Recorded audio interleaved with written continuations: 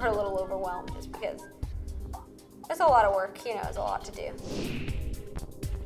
I got a little derailed because I really respect what Tim has to say, and I kind of started overthinking it and second guessing myself. You don't like any anything about it. No.